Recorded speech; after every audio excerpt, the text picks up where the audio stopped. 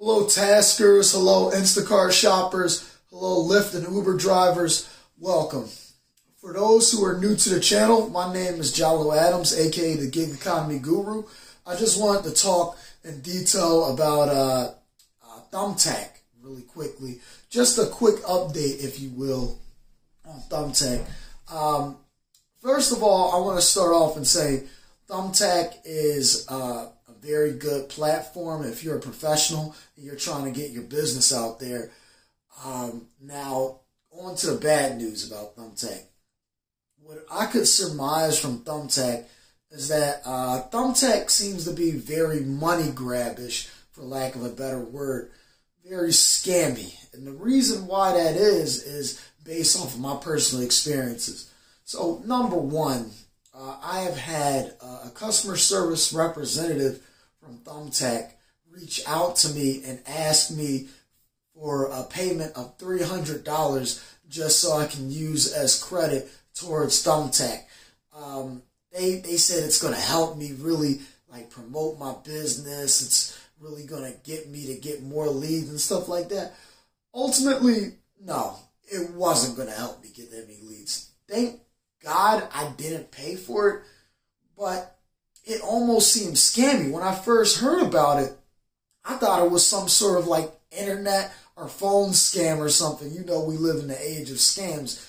But anywho, I know it wouldn't have worked because there have been multiple times where I have paid for leads from Thumbtack, but unfortunately, Thumbtack didn't really give me the business that I wanted.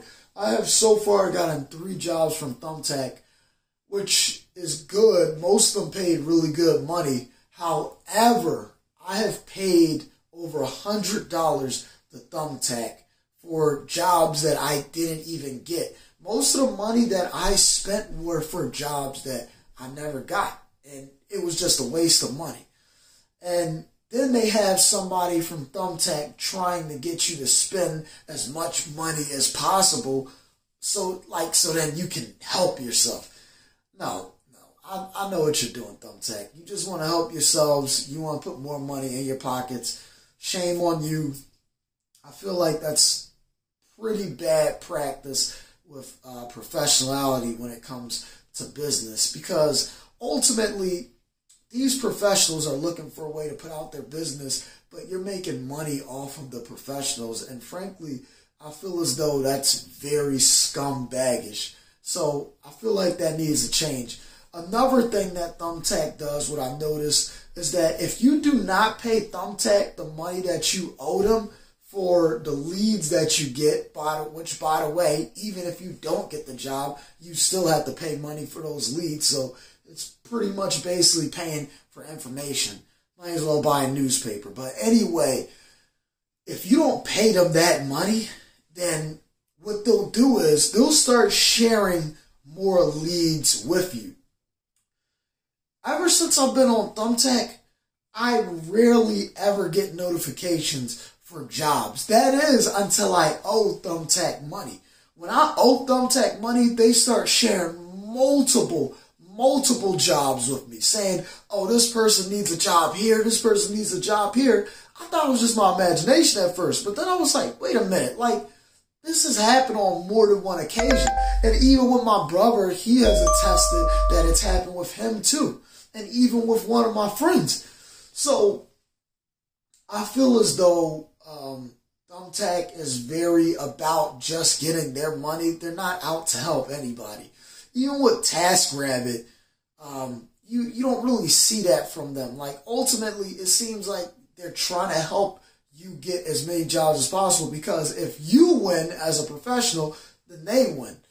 So Thumbtack, just just to surmise everything and you know make my point, um, if Thumbtack made their platform in a way where all the professionals got a job every single time they paid for a lead, then it would be way better. But as of right now, I feel like Thumbtack doesn't really care. They don't care about. No, as a matter of fact, I know they don't care about the professionals, and that's a problem, and that has to be fixed. So, just to surmise, don't ask people for money especially when you when you say it's going to help them and ultimately it's not going to help them. And number two, don't start showing people leads as soon as they owe you money. If you show them more leads more often, maybe they will be on there. It's very schemish. It's almost like what casinos do whenever they try to get people to come back and play games. They give you the idea that you may win big from this one game, which gets you to come back. Thumbtack basically uses the exact same scheme as casinos. Um, one other thing, just as a warning, for those who are on Thumbtack and use the platform, uh, watch out for additional scammers on the platform.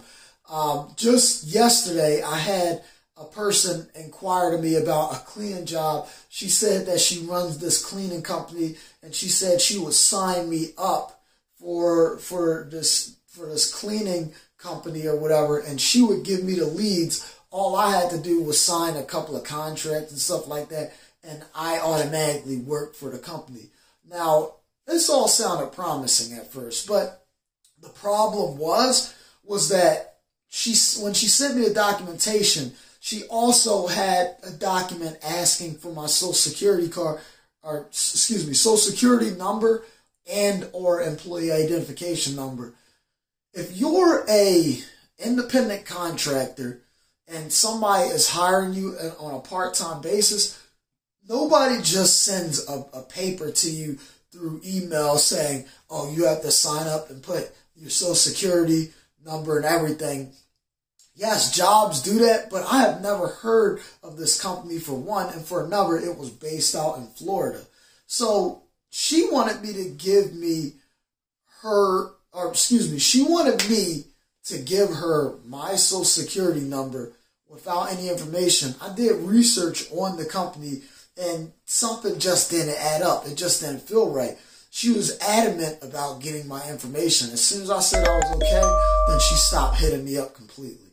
So just remember, you guys, watch out for these scams. We live in an age where scams are are um, they're they're almost uh, omnipotent. I mean, it's constant. Like somebody's always trying to get somebody, especially now in the world where more entrepreneurs are starting their own business. Now scammers see that as an opportunity to make money off of us. So just be very careful about that. But anyway, you guys, that's my PSA, my TED talk, if you will. Um, I have to go to sleep so I can start doing Uber in the morning. You know, the hustle never ends. But anyway, it was good talking to you guys. I'm going to come back with another video talking about TaskRabbit again because it's been a minute. But anyway, have a good night. See you guys next time. Take it easy.